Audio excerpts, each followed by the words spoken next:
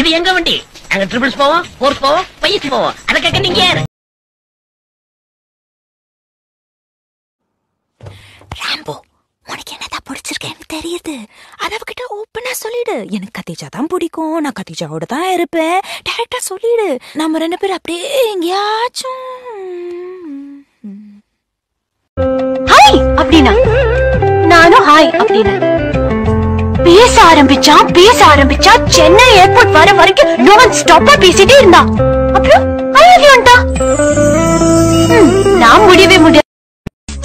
Phone பண்ணுவீங்களா? பண்ண மாட்டேன். லெட்டர் போட மாட்டேன்.